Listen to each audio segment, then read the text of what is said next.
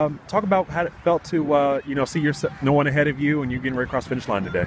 It was really cool because we were all pretty close, like coming into the last 800, and so it was um, really muddy back there, but you just had to like power through it, and so it was awesome to go across the finish line like that. Uh, after you finished uh, last weekend in the conference, you know uh, what, what what kind of went through your mind getting ready for uh, this weekend at all?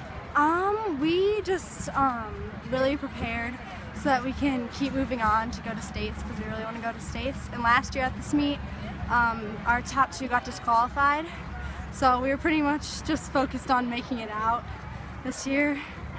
How, how much does it mean to you, uh, you know, in your freshman year to win the district? And you know, I, I know it's kind of catching your breath right now, but thinking about the future and what could be ahead of you.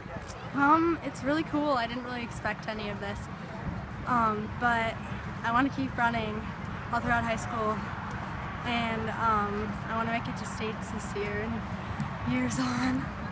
Uh, I don't know if you know your uh, unofficial time that came when you came in or not.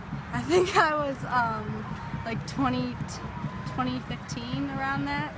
Are you under or above your uh, per- personal at all? Uh, like two minutes slower. Okay. Then I, it was really muddy. Okay. And so uh, I'm assuming, you know, hopefully under better weather conditions in Boardman, uh, you know, hopefully you do a bit better. Yeah, hopefully. That'd be awesome.